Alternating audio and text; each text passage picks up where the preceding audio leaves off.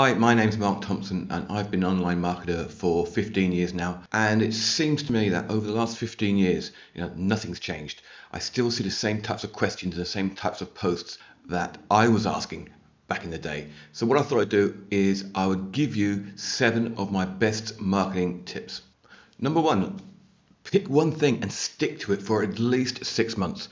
It normally takes that long for things to start to work. Number two, you don't need half the tools you've bought or that you're going to buy. Try and focus on learning marketing techniques and they will last you for a lifetime. Number three, communication is the first technique you should master. Often a series of good uh, informative posts and a checkout link will far, far, far outperform a sales page. Everything comes down to the offer. So number four is know your offer. If you don't have a good offer or you don't understand your offer, you'll never succeed. Your offer will dictate who your target audience is. It will dictate the message you put in front of that audience. It will also dictate your success. Number five, all successful campaigns are temporary, so never get comfortable. There's always something around the corner that will cause you problems, so expect them.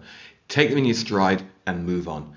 Number six, failure isn't always bad. Just be sure to analyze what went wrong and try not to make the same mistake again. Lots of the things I try fail. That doesn't matter. That's a lesson. That's something I can take forward to the next project. Number seven, and finally, the simple option is always the best option. Don't overcomplicate your marketing. Start with the basics and build it up over time. To use a baseball analogy, don't try to hit a home run first time out. Just try to get to first base.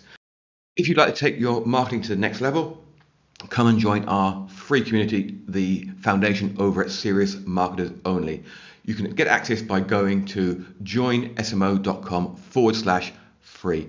See you there.